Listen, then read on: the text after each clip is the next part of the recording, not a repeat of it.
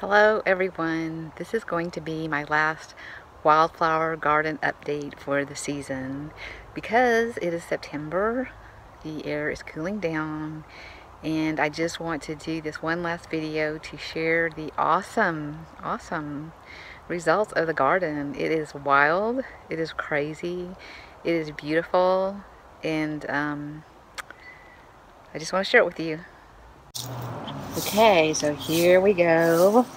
Look at that. See the petunias, the purple ones, the pink ones, the little baby white ones, and the peach ones on the other corner. And see those pink snapdragons. And look, the little light lavender petunias.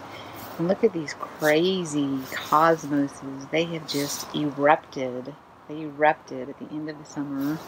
I'm going crazy. I've already pulled some out, but uh, you can see they're still going crazy. This is this lovely snapdragons. Just gorgeous color on these snapdragons.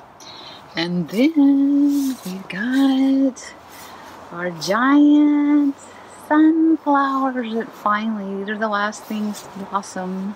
They are enormous. Look how big they are. Oh my god. They are giants. These are different variety. They've got some red in the leaves. Quite gorgeous. We've got three different varieties. So we've also got, look at this one. I mean, just an eruption. Total. Gorgeous. Complete eruption of sunflowers. And then you see these sunflowers, look at these. Do you see that? They've got the yellow centers. They are just huge. So, my wildflower garden blossomed, came crazy, beautiful, and it was a wonderful project to keep me sane and balanced. Right, I worked on war and grace.